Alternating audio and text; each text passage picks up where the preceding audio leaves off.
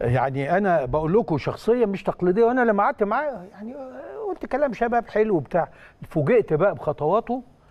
الراجل ده انتج ولحن ومثل وغنى ودخل في دولاب العمل في النادي الأهلي من أدق تفاصيله وأخطر تفاصيله إلى أن كان هو المايسترو للحفل المبدع اللي شفناه ده. أنا بقى عايزك واحدة واحدة كده تفهم الناس علاقتك إيه بالنادي الأهلي وكيف بدأت. أنا ال- الأول مبسوط إن أنا مع حضراتكم جدا جدا جدا. إحنا اللي سعداء بيك والله جداً، فعلا جداً يعني. وبرنامج مهم وعريق وأهم برنامج وأقدم برنامج في القناة وأنا وأنا وأنا بقدر حضراتكم الاثنين والله شخصيا جدا جدا. وإحنا زي ما اخترناك عرفت إن أنت اخترتنا. طبعا طبعا. ودي حاجة شرف ليا. وأنا وطبعا قبل أي حاجة آه، أحب يعني أقول لحضرتك مبروك على التكريم. اللي انت تستاهله ولو اللي اتعمل ده اتعمل قده 10 مرات ما يكفيش حق حضرتك. صحيح، والله يا باشمهندس وفعلا مش صحيح. كلام انت متحيز لي بس لا, شوية. لا والله حضرتك عارف. عارف انه ده رأيي مش كلام مجاملات أنا عارف عارف ومش عارف. كلام برامج. أنا عارف. فعلا الحقيقة إن أنا الحمد لله قابلت باشمهندس علي من من من من سنين وكنت فعلا لسه صغير. حتى أحلامي كانت فيها هو شوية إيه سذاجة شوية. آه. إيه لكن الراجل ده أنا شفت إن هو بيحب النادي ده إزاي؟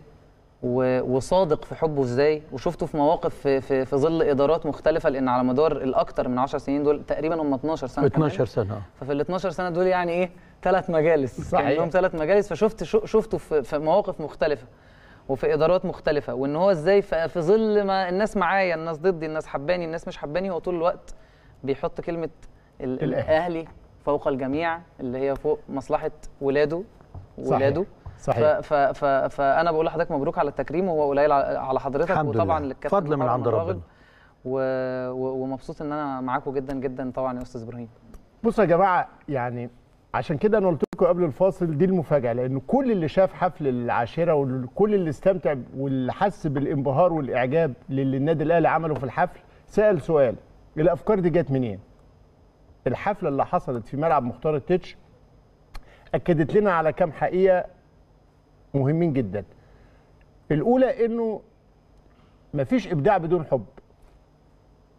النجاح والإبداع مشروط بالحب في حالة حب في إبداع وفي إنتاج وفي حاجات فوق الخيال وفوق التصور البشري ثانيا كمان ال- النجاح والإبداع والتميز مش محدود بسن الفكرة بتيجي لأي سن في أي وقت تلاقوا حاجات غير طبيعية عشان كده كل اللي حس بالدهشة واللي حس بالانبهار واللي حس حتى بالفخر والسعادة من جماهير الأهلي في هذا الحفل سأل سؤال كل ده جه منين؟